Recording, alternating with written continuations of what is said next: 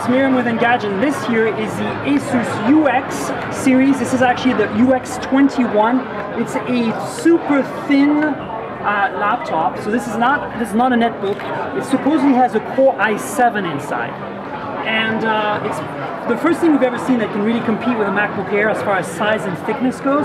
It's all aluminum, anodized, different colors as you can see here. Uh, you get some ports here. You get headphones, USB. Uh, this looks like a display port output. Uh, in the back here, the hinge. There's no sign of a removable battery at all on this device. USB 3.0, uh, standby light, uh, looks like a HDMI port perhaps, and power. Very, very, very slick, very light. Again, this is the first thing we've ever seen that can possibly remotely compete with a MacBook Air at this point. And here's the inside, uh, glass trackpad, metal keys, chiclet keyboard. You can see here there's a, a, pattern texture, I'm not sure if the speakers are behind here. Uh, the display is um, got an anodized bezel with a sort of semi-gloss screen.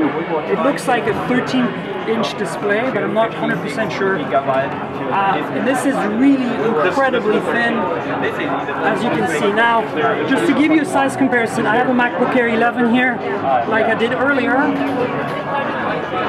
And you can see this is uh, in the same ballpark. Uh, we, I don't have a 13 on me, but we have some pictures of it with the 13. I'm sorry? Just... And so, as you can see here, this is roughly what we're looking at, about the same. So I'm not sure if this is 11 or 13 inch at this point. But uh, that's it, the uh, Asus UX I'm sorry. 21 that I can't open easily.